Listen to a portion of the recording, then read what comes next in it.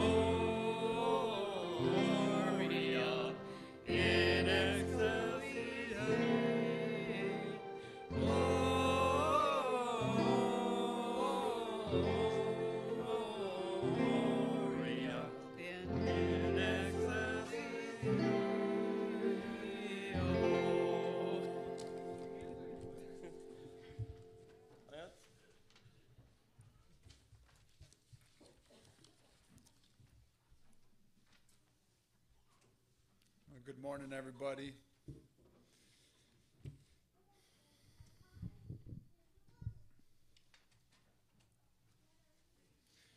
Is there any specific prayer requests this morning before we open with prayer?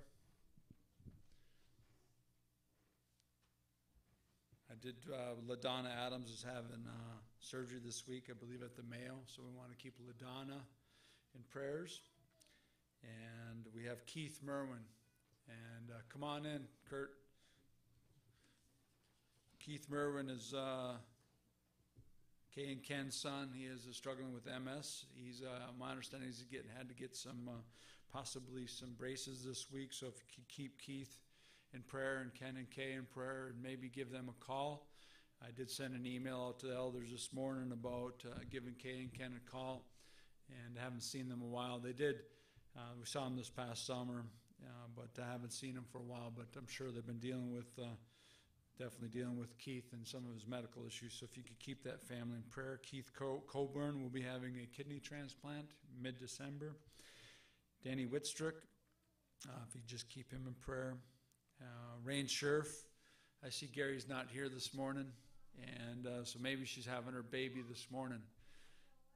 Gary said he hoped uh, the baby was going to be born on Thanksgiving so he could call it Little Turkey all year round.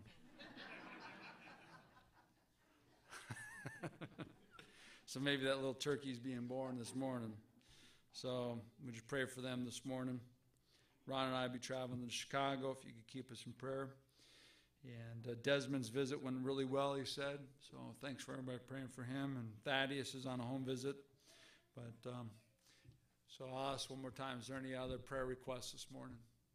If not, we'll open with prayer. And the kids talking are totally fine. So, oh, there's Mr. Scherf right there. Is there any little turkeys born this morning, Gary? Gary, are you a grandpa yet? Are you a grandpa yet? You really?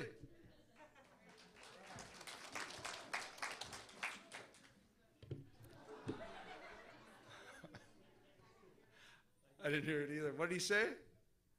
No? I just told him the little turkey story. All right, Gary, you're such a jokester. Let's open with prayer. Uh, dear Heavenly Father, Father, again, we're just so thankful for Christ. We just want to thank you that you loved us sinners the way we are, and that you sent your Son Jesus to the cross to die for the sins of mankind, all of our sins, past, present, future, and then buried, and rose again the third day, showing us the payment for sins been paid in full. And Father, as we study the Word of God, just uh, you know, reading in Psalms there, O Lord, our Lord, how excellent is thy name. The more we read there, how excellent is your name that you went to the cross and that you loved, that you died to, you died a death that we owed. How excellent is thy name. And we just over and over how, how the blessings that we receive in Christ and just amazing the gracious God that you are, the loving God that you are, and that you saved us from a hell that we deserve to a heaven we don't. And it's not anything that we do. It's you've done it all for us. And Father, we just ask that you'd bless the message this morning to our body. And we just ask that as we gather here this morning, that we would also remember our brothers and sisters in Christ that are in the body, and we pray for them. And We also pray for the people that are outside the body. And so we pray, we first start with salvation.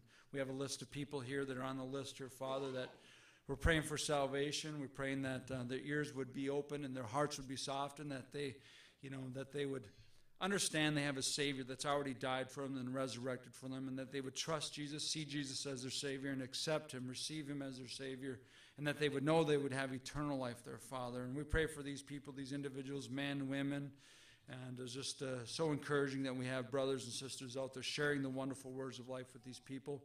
But again, Father, we just pray that these people would soften their hearts and see their see the Redeemer, see their Savior, because you know what? We know this life on earth is just but a mere vapor, and sooner or later they're going to die. So, Father, we just pray that they would understand that they have that they would see Christ and accept Him as Savior.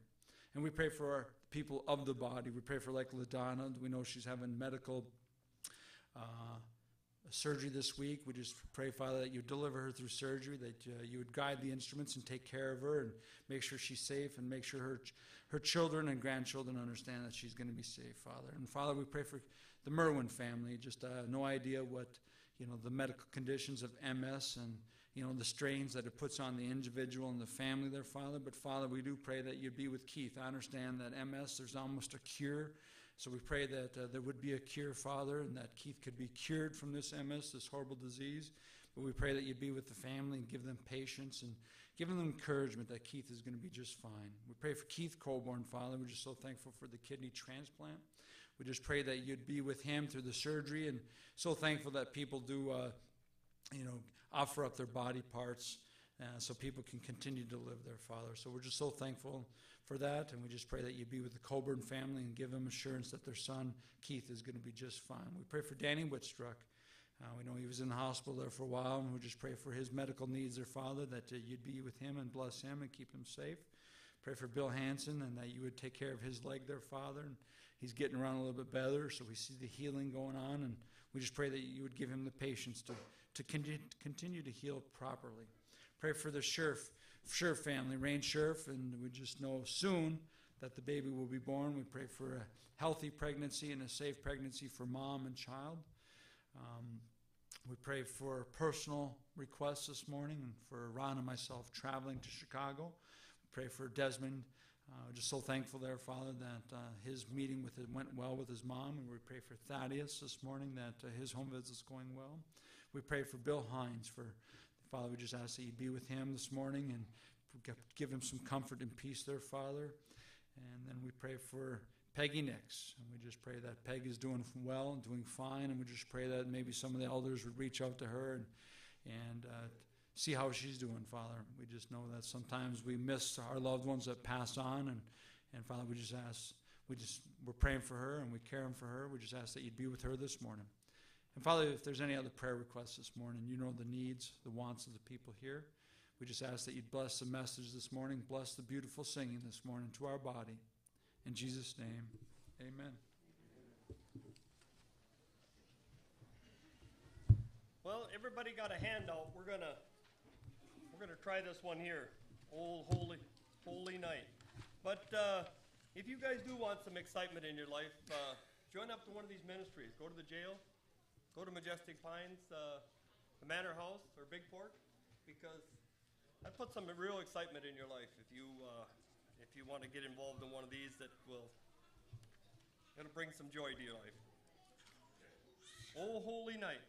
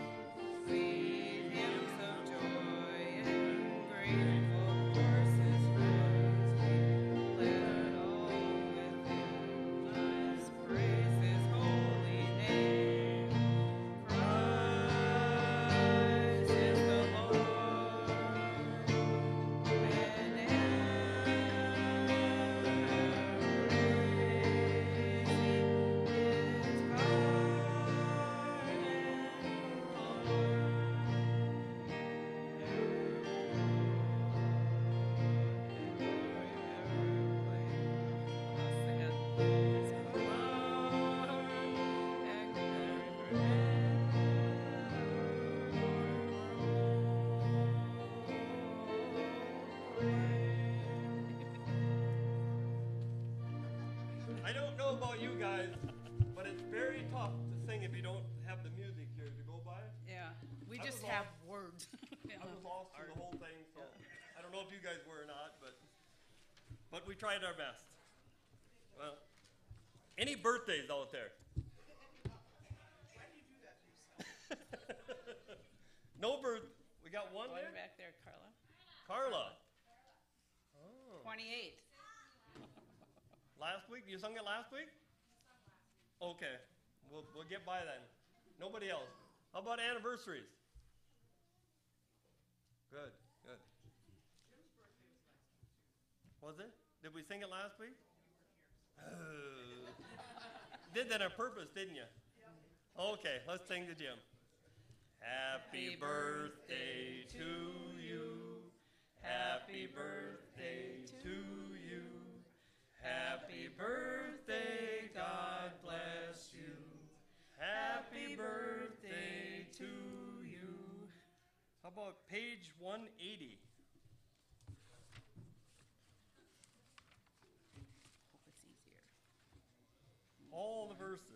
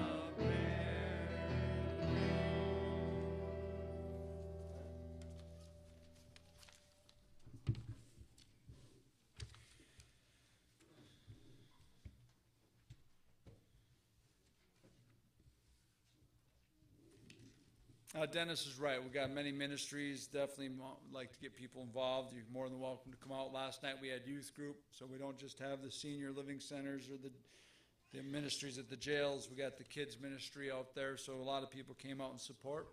We thank everybody that did come out and support. We had a lot of kids show up at the youth group.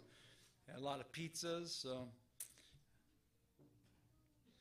Um, we got Majestic Pines this morning, so I won't be there, but uh, Pastor Herman will be there. So if you could, uh, want to go out and join Herman, he's actually going to do uh, Majestic Pines and Grand Village. So just thanks to Herman for doing that while we'll be on the road. So please pray for him and the ministry over there, and hopefully many people come out and hear him. He's a great speaker. So again, if you want to go join him, it'd be great for you to go out there and support him. We have the Christmas message program coming up. So we, with all the kids, the next three weeks. So hopefully we'll have all the kids here the next three Sundays to continue to practice with Patty, and then we'll have the service and message, the program and the message combined, and then we'll do a brunch potluck immediately after. So hopefully everybody will be here at nine o'clock to support the kids, to hear them, see them, and also hear the message. Looks like we have senior camp coming up. I think Ron said 36 weeks away, right? 37? So, yeah, can't wait till spring. Hate these 10 degree mornings. Uh, van won't start this morning. I usually take the van to pick up kids, and van won't start. Uh, then we have the Philippines trip coming up. So, you know, we have the grace box in the back, you know, grace offering, and we don't pass the hat here, and that's not what it's about. It's between you and the Lord. But what you need to know is the money is to furtherance the gospel. It's not going in anybody's pocket, it's going to furtherance the gospel.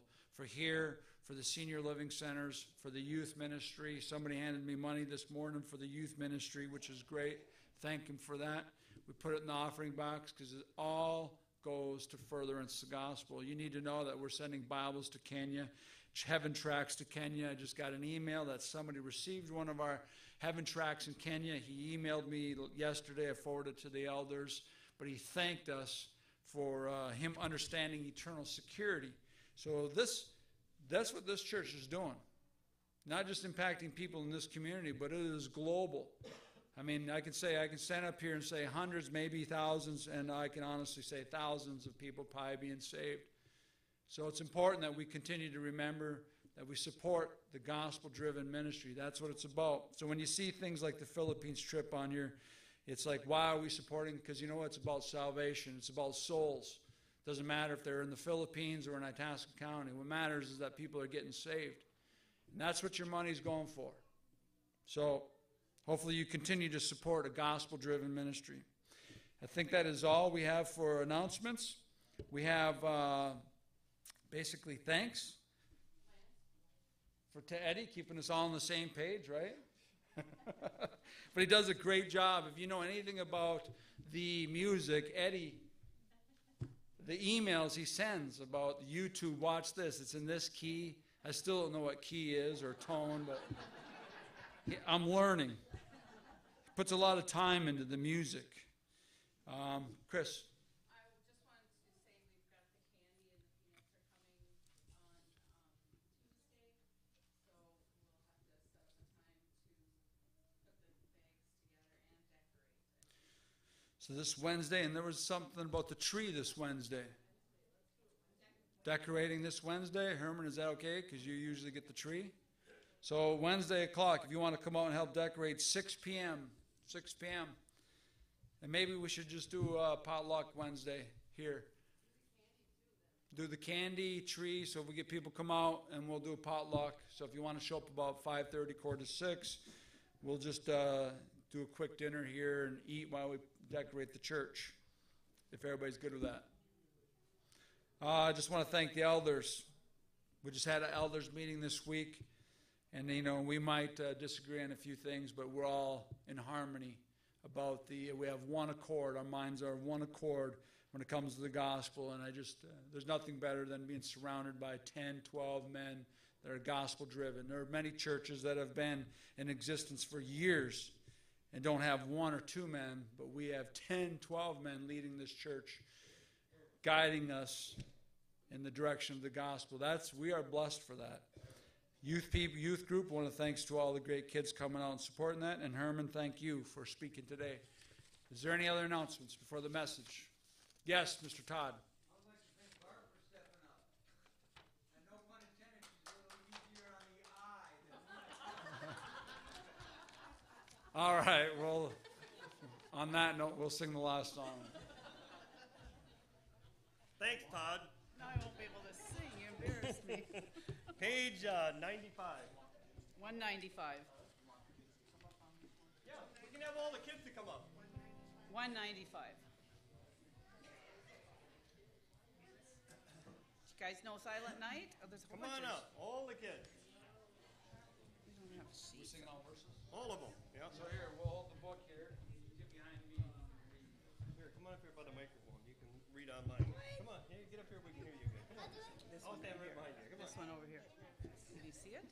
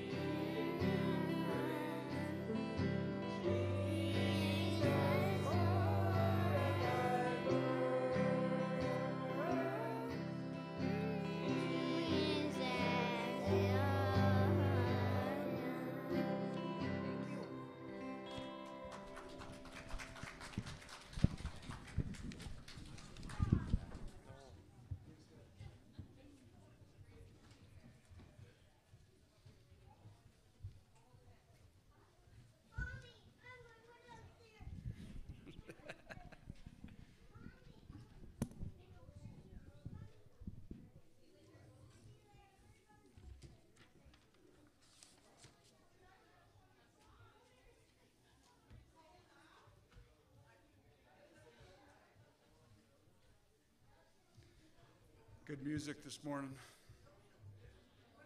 Kim and Christy, thanks. Good stuff.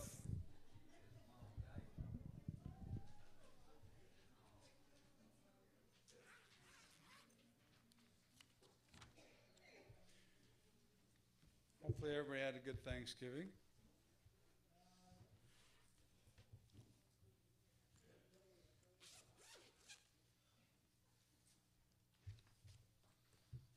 To turn over to Acts 26, 22.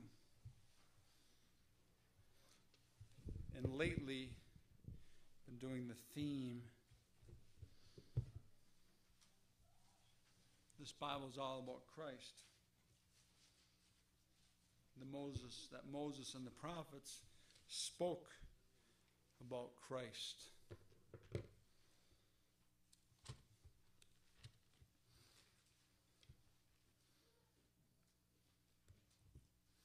Acts 22, 26, 22.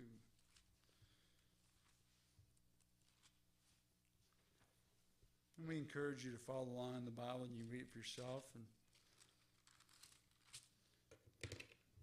doesn't matter if you can't find the verse right away. Let's read 26, 22.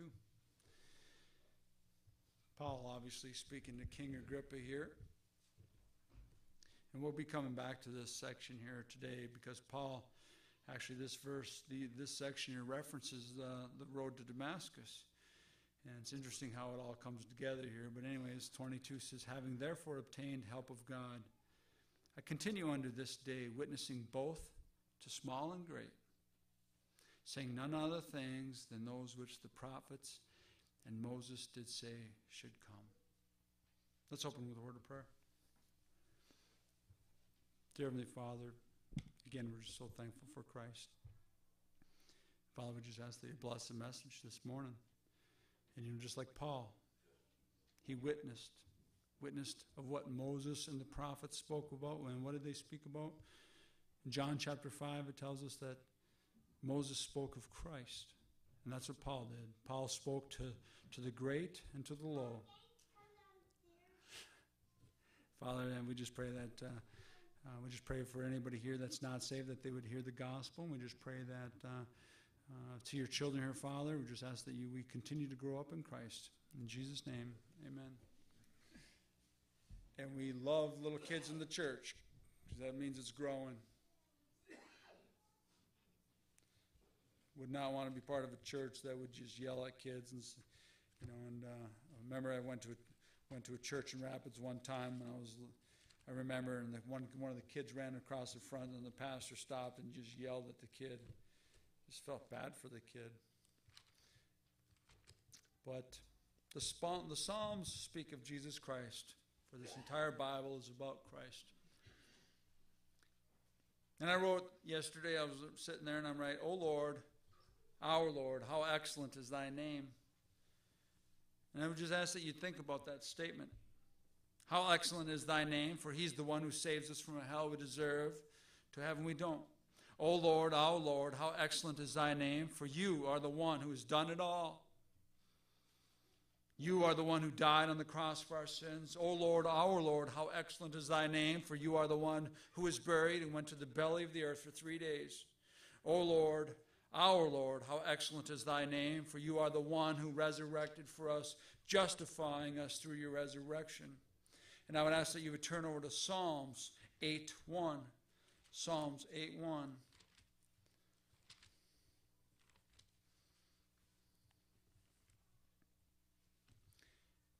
We'll probably stay in Psalms for a little bit here.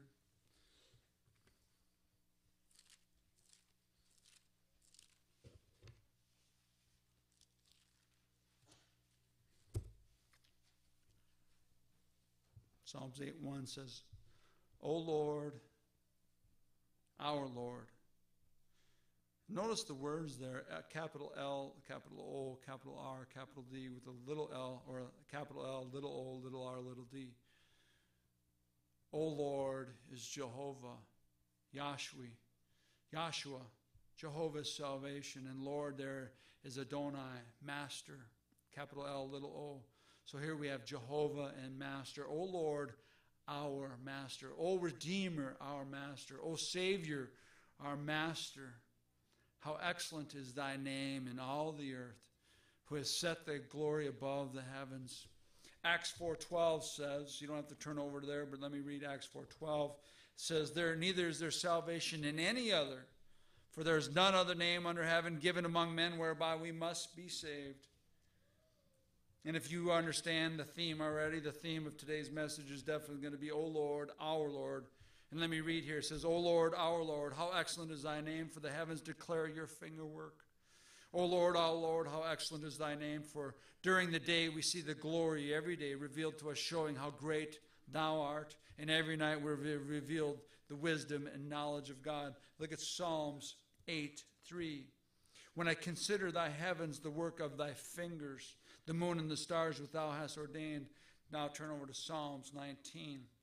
Psalms 19. 1 and 2.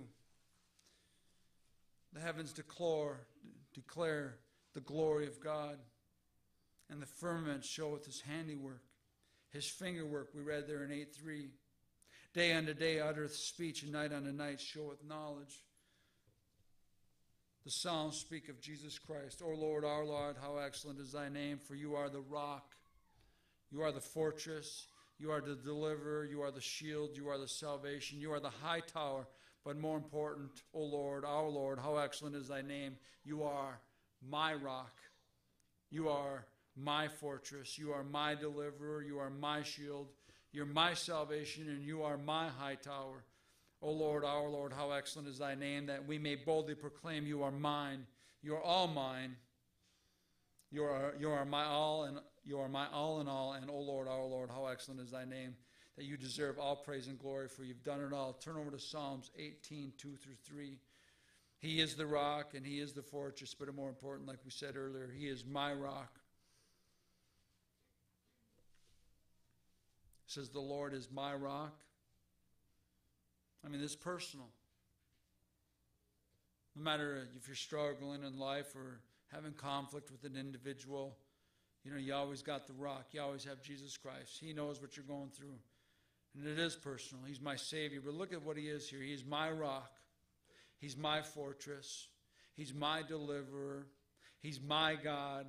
He's my strength, in whom I will trust. He's my buckler. He's my shield. He's my horn of salvation. Salvation is the Lord. He's my horn. The power is of the Christ. He's the one that went to the cross. It's His salvation. He's my high tower. I will call upon the Lord who is worthy to be praised. So shall I be saved from mine enemies. The Psalms speak of Jesus Christ. And we say again, O Lord, our Lord, how excellent is thy name, for by trusting your name we will never be forsaken. Look at Psalms 9 10. Psalms 9 10.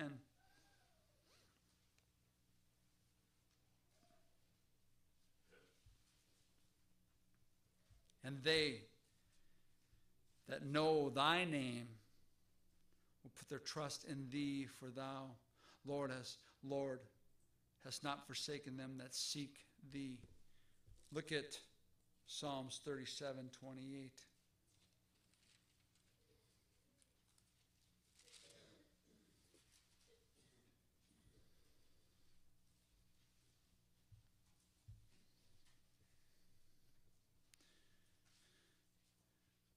For the Lord loveth judgment and forsaketh not his saints.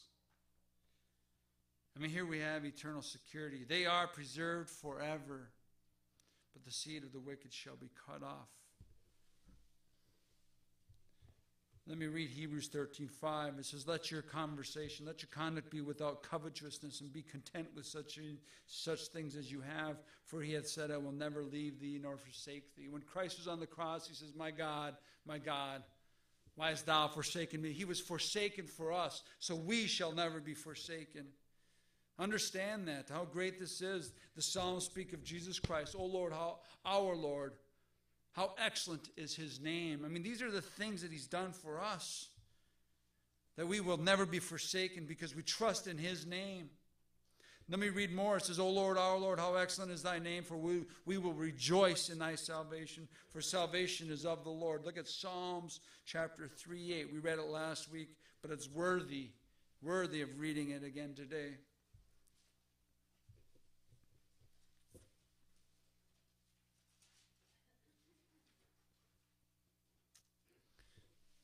Salvation belongeth unto the Lord. Thy blessing is upon thy people. Selah. What does Selah mean? It's kind of a, I believe these are songs, so it would be a musical note. It actually means a pause. Time to stop and think, to ponder. Yet man turns salvation into something they can earn. Some they, they think they can earn it, they think they deserve it. But salvation clearly tells us, if you look at the Bible, the Bible tells us salvation is of the Lord's. Salvation belongeth unto the Lord. It is His. He's the one that do, does it all. Look at Psalms 19 14.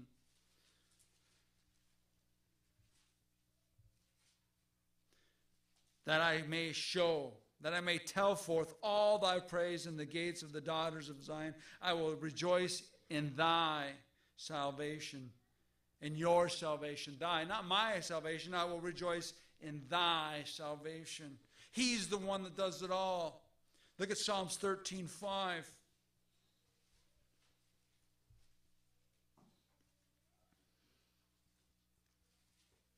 When you start to look at these words, he says, But I've trusted in thy mercy. My heart shall rejoice in thy salvation, in the Lord's salvation, not mine, not anything that I'm doing. David is trusting in thy salvation, in Christ's salvation. I mean, when we read Psalms 8 1, O Lord, O Lord, how excellent is thy name. I mean, look at, rethink of the things that he's done for us. And maybe you get tired of hearing that this Bible is all about Christ. Well, but you can't read the Bible without studying Christ, it's everything. And I got another verse to support that Psalms chapter 40. Psalms chapter 40. Maybe you think that the Lord rejoiced in sacrifices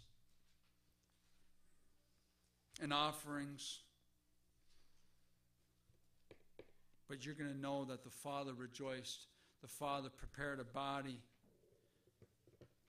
the body of Jesus Christ. And that was the only offering that the Father is satisfied in. And we're going to see that right here in Psalms chapter 40 and then Hebrews chapter 10. We'll read. But let's read 1 through 7. It says, I waited patiently for the Lord, and he inclined unto me, and he heard my cry. He brought me up also out of the horrible pit, out of the miry clay, and set my feet upon a rock, and established my goings.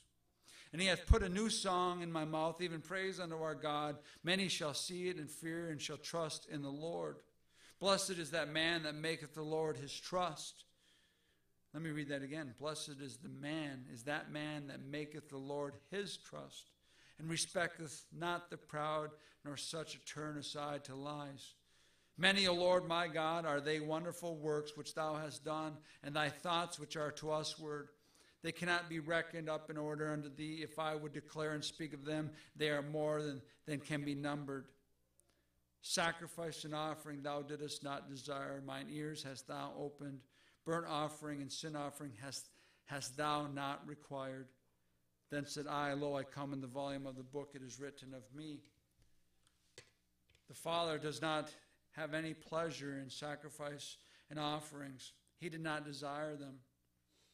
And how do I know the body that he prepared is the body of Jesus Christ? Turn over to Hebrews chapter 10 because and actually the Holy Spirit here actually quotes from Psalms 40.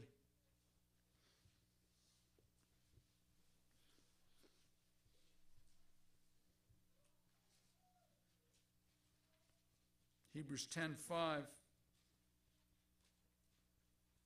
actually would match Psalms 40, verse 5.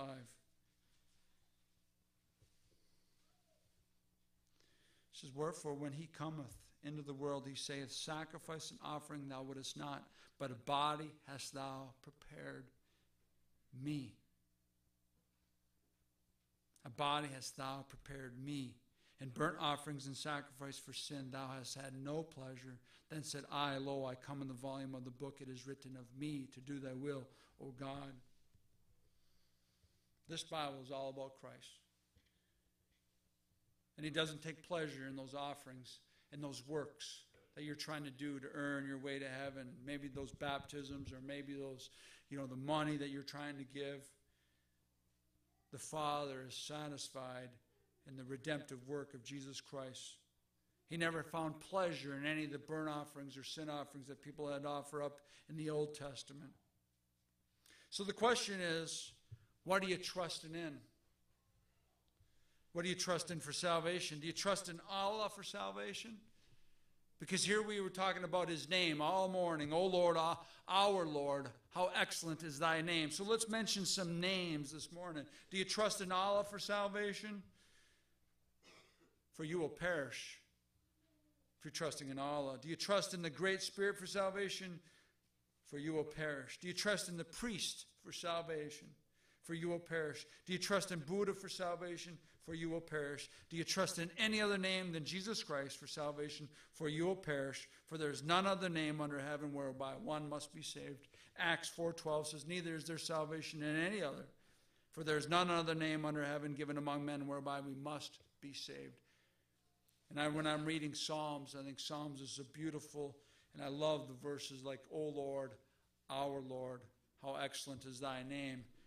And if you've not seen this, I would ask that you look up here and let this hand here represent you and I, and this sin here represents, this wallet here represents our sin.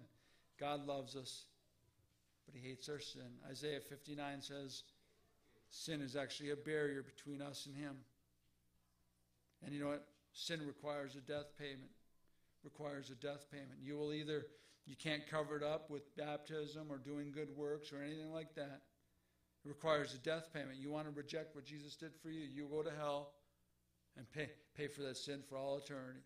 And I'm telling you right now, hell, the road to hell is paved with good intentions. But you know what? If you reject Jesus Christ, you will go to hell.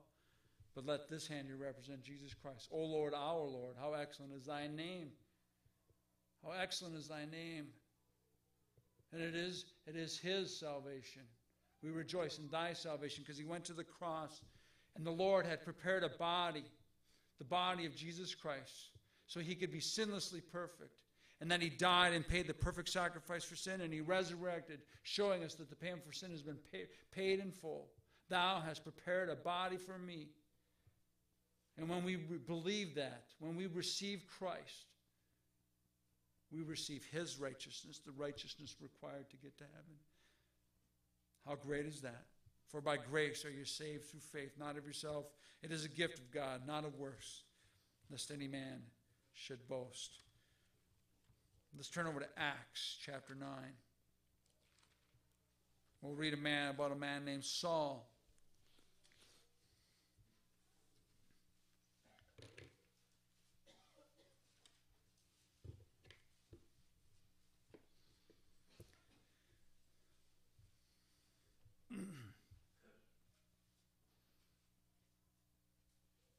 Acts 9 1.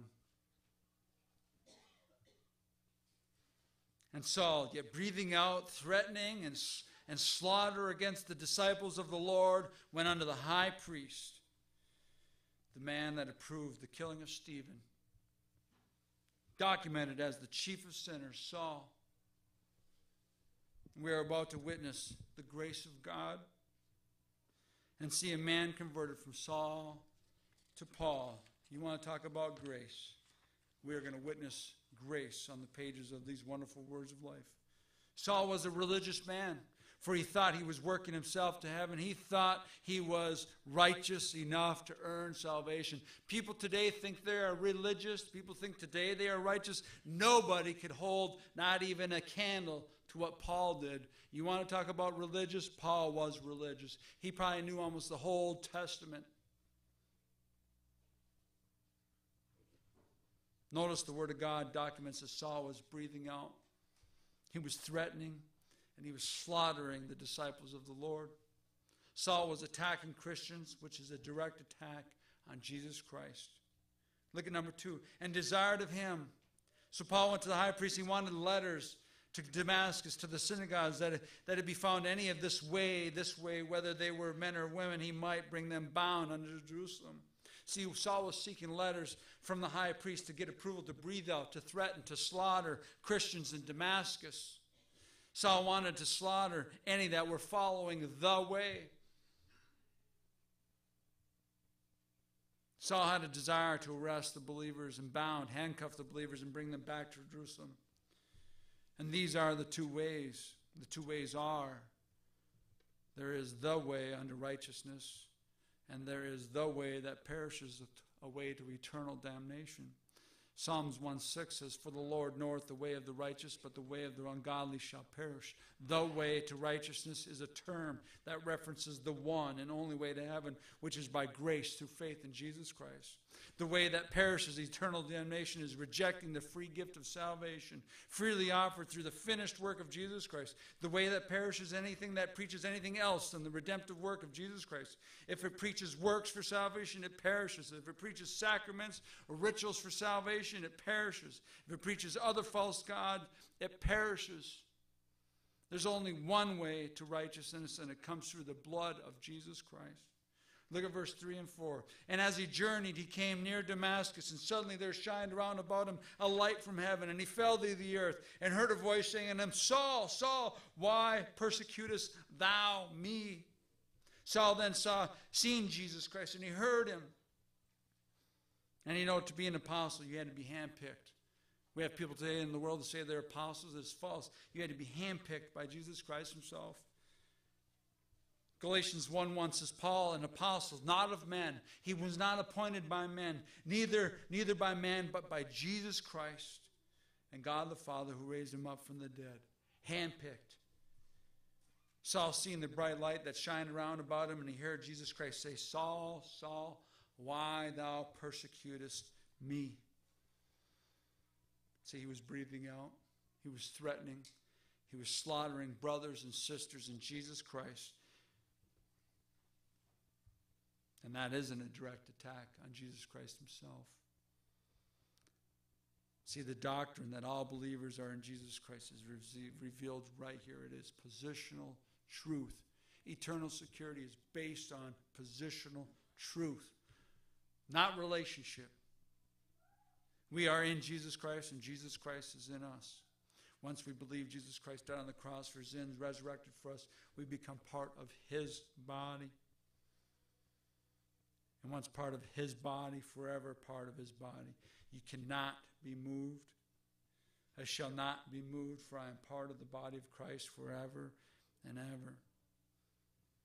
This is why it is important to not talk about your brothers and sisters in Christ, for it is a direct attack on Christ himself.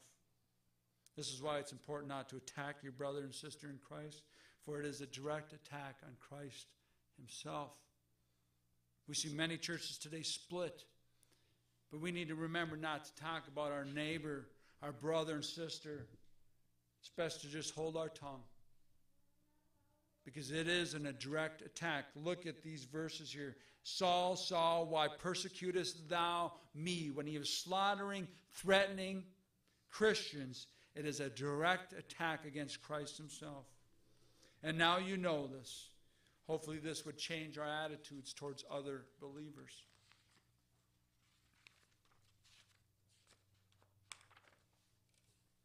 And he said, Who art thou? So Paul, Saul says, Who art thou? Who art thou, Lord? And the Lord said, I am Jesus, whom thou persecutest. It is hard for thee to kick against the pricks. Saul immediately asked, Who art thou, Lord? And the Lord said, I am Jesus what wonderful words of life to hear to say, I am Jesus. To hear those words. And I say this when you accept Jesus Christ as your Savior, you know Him as your Savior, for He is real. He's as real as you to as Saul as He is right here to Saul. He says, I am Jesus, I am Joshua, I am Jehovah's salvation, for there's none other name under heaven that can save. And I say, O Lord, our Lord, how excellent is thy name. One day we will meet him either in the air at the rapture or when we're called home, because this is not our home. However, I wait for the day when he says, I am Jesus, and I will see my Savior. And he says to me, I'm the one who died for you. And he says, I'm the one who resurrected for you. And he says, I am the way, the truth, and the life. And Jesus said, I am the way. There's a way unto to righteousness, and there's a way unto eternal damnation.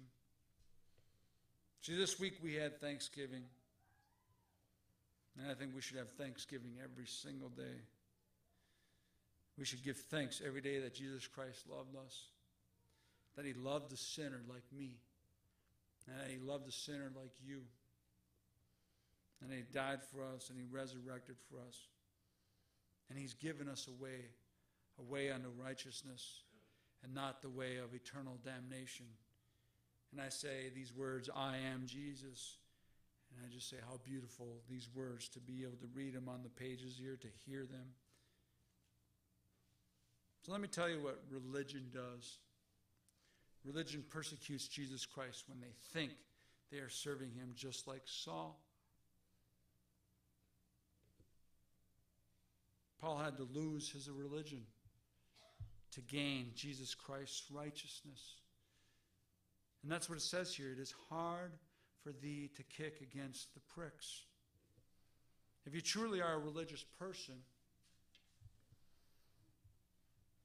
where you try to keep the law, you study the Bible, however, you will be continuously reminded, if you're truly honest with yourself, you'll be continuously reminded that you are a sinner and need a Savior, because that's what the law does.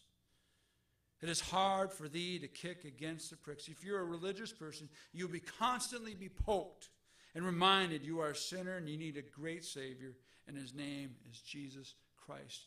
That's what Paul, on the road to Damascus, he knew in all these great things that he was circumcised the eighth day, that he was a Benjamite, he was of the tribe. He grew up as a Jew, he knew the law, and instantly when he seen Jesus, he says, Whom art thou, Lord? He instantly recognized him as Savior right then and there because he knew he wasn't keeping the law. He knew he wasn't good enough, and he was constantly reminded. And that's why Jesus says, It is hard for thee to kick against the pricks. And he recognized instantly who Jesus was. See, Saul lost his religion and accepted Jesus Christ as Savior. And when people say, well, they might say that Saul, Paul didn't get saved until he went to Jerusalem. But I say he got saved right then and there because you know what?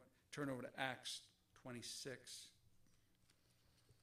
when he's talking to King Agrippa.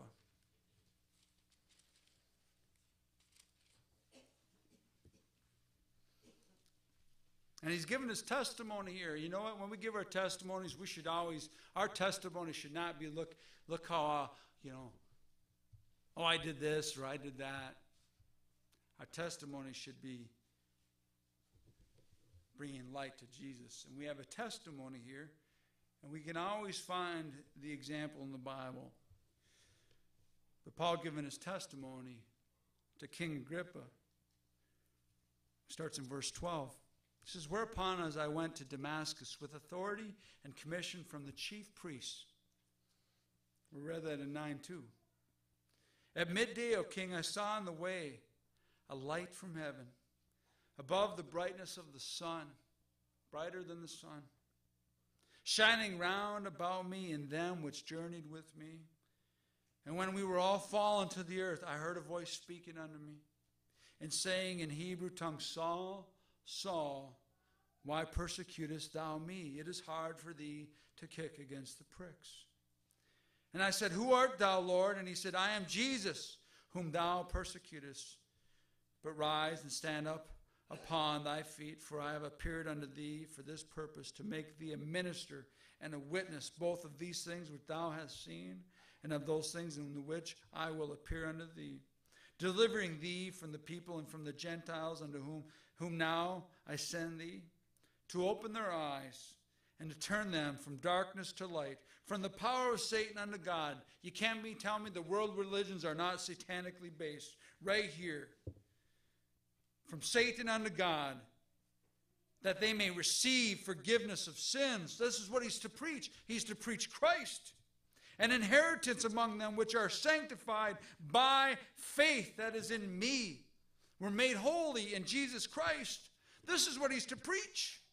Whereon, whereupon, O King Agrippa, I was not disobedient unto the heavenly vision.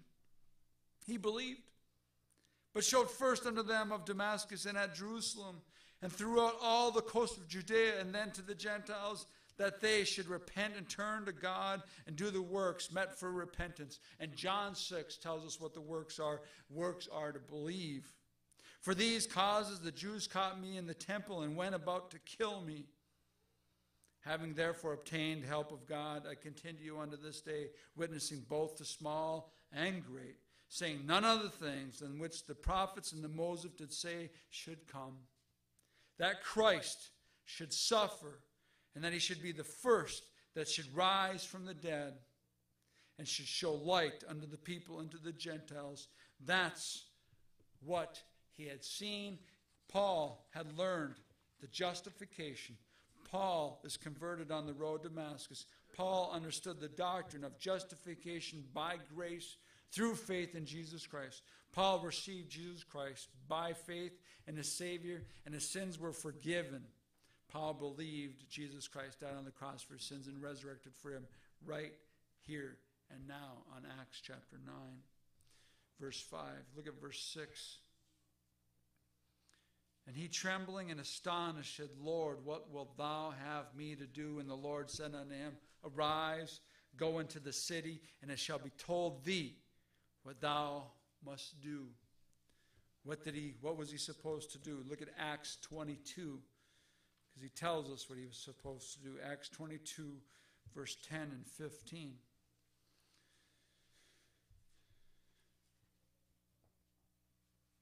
And if you look at verse 9 and 22, again, he's given us, he, he refers back to this incident.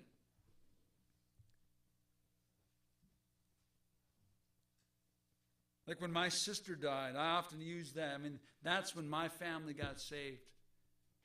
And Paul here, he goes back to when he got saved. And he says in verse 9, And they were with me, saw indeed the light, and were afraid, but they heard not the voice of him spoke to me.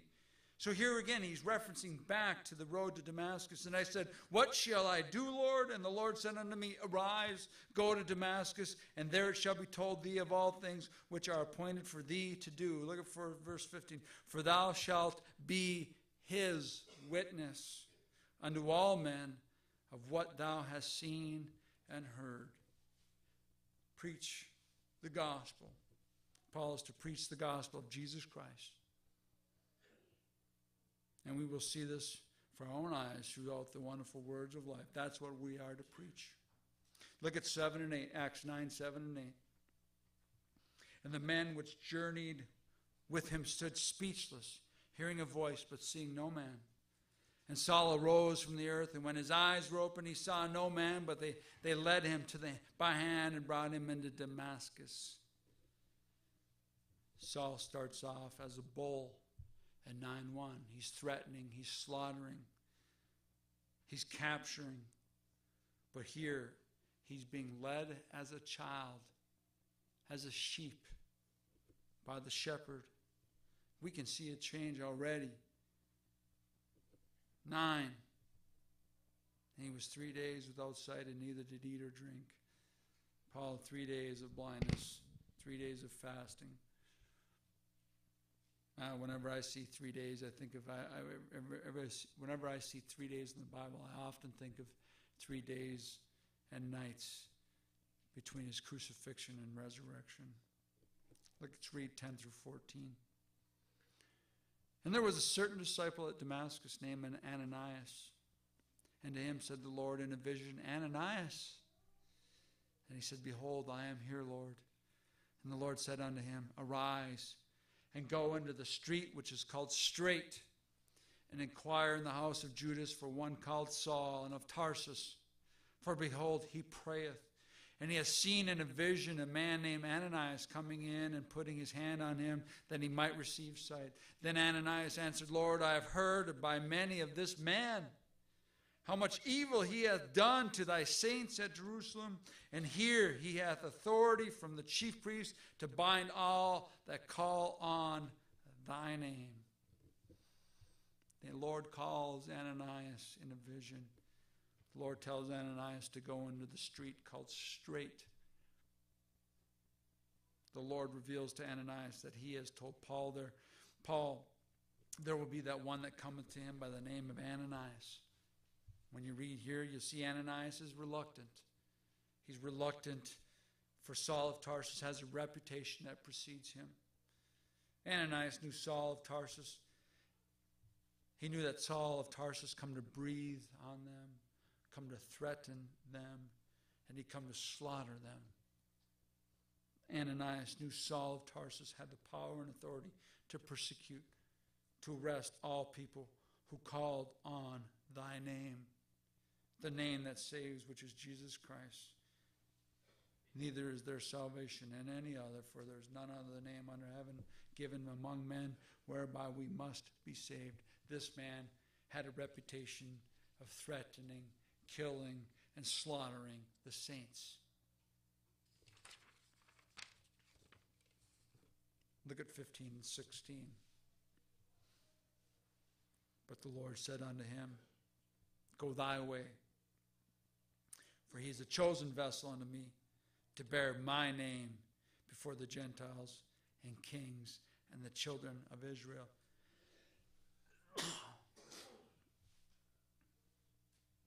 For I will show him how great things he must suffer for my name's sake.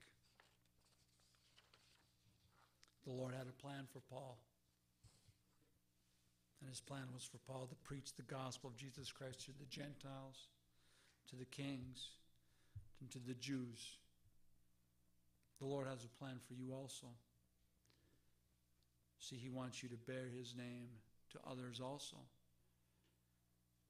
That's what it's all about. The Lord knew Paul was going to suffer for His name's sake. And when you preach the gospel of Jesus Christ, you will receive great joy from people, you will receive rejoicing from people, or you will be rejected.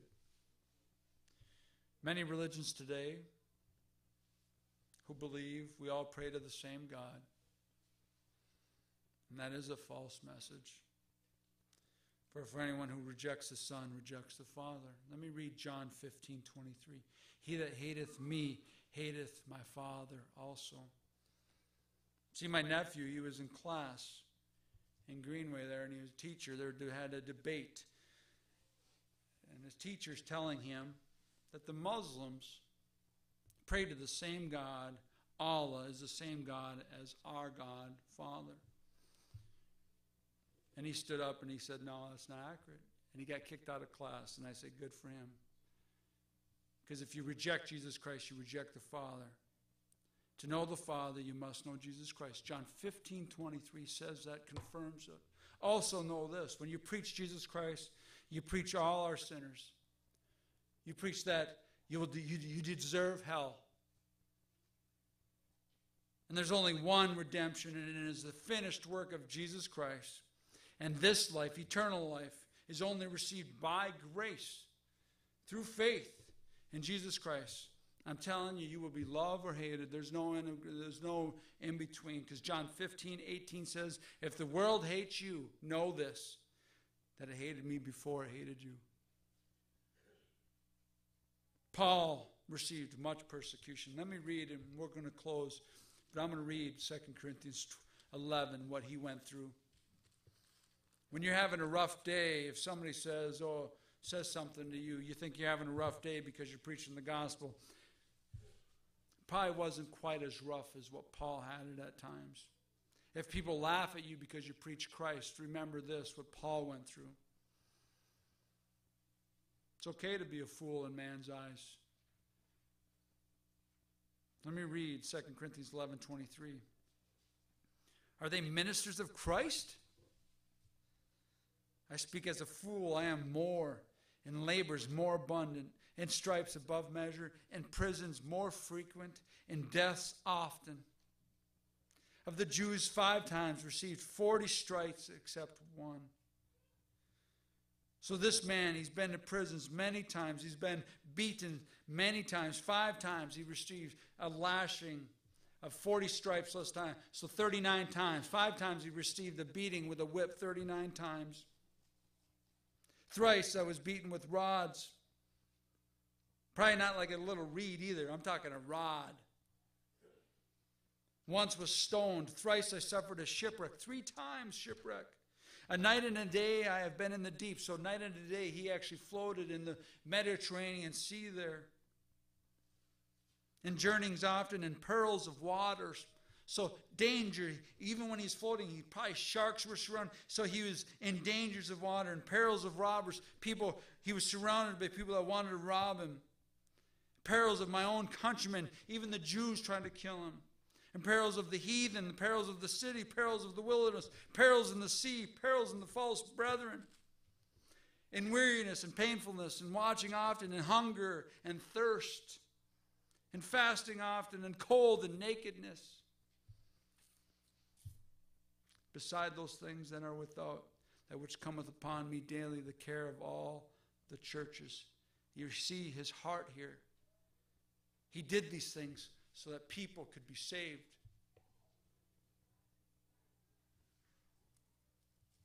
First Corinthians 10, let me read that for you. Verse 30 it says, For if by grace be a partaker, why am I evil spoken for of that for which I give thanks? Wherefore, therefore, you eat or drink, and whatsoever you do, do all to the glory of God.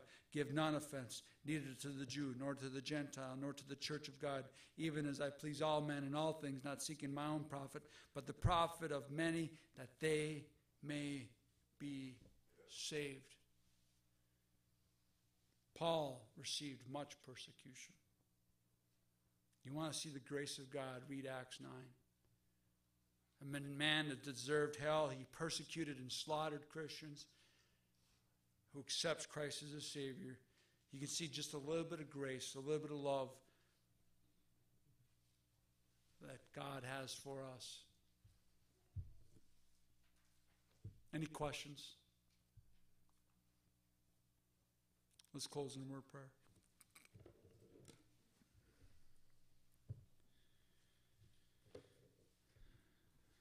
Heavenly Father, O Lord, our Lord, how excellent is thy name. For you are our rock, you are our fortress, you are our buckler, you are our shield, you are our salvation, our shepherd. We sit here today, Father, and we don't, I mean, sometimes I wonder if we really know. Oh Lord, our Lord, how excellent is thy name. I mean, I sometimes just can't even comprehend with this finite mind that I have to understand what you truly have done for us, to save us from a hell we deserve, to a heaven we don't for all eternity, that we're going to be able to be in your presence for all eternity, that we're going to be able to be in your glory for all eternity. And it's all because of what you've done. It is your salvation. We rejoice in your finished work. How great is that? And Father, we pray for you know the body of believers here today. We to understand that when we talk about a believer or when we persecute another believer, it's actually a direct attack against you.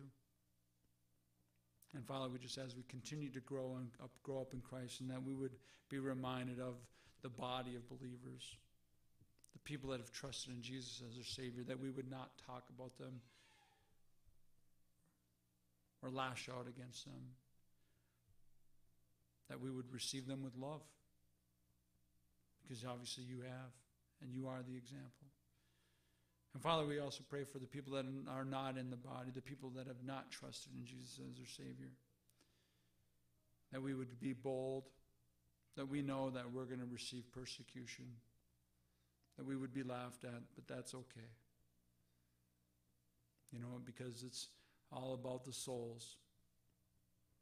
Hopefully, one in that group, maybe one, maybe we plant the seed. But you know what? Least we're getting the word out there. That's what we need to do is get the word out. We're to preach the gospel, preach Christ.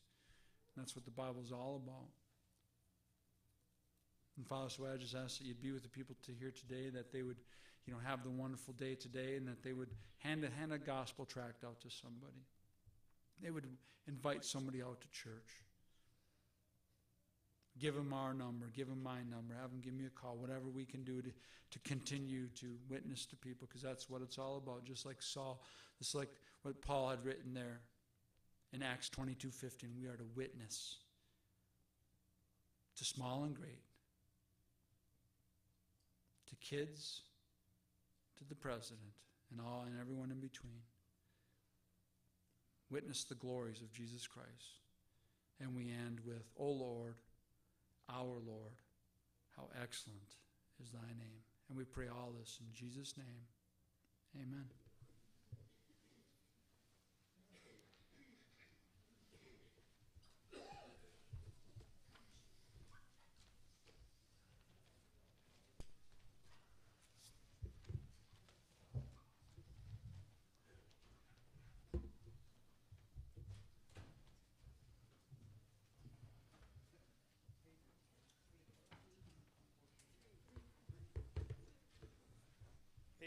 Page three fourteen.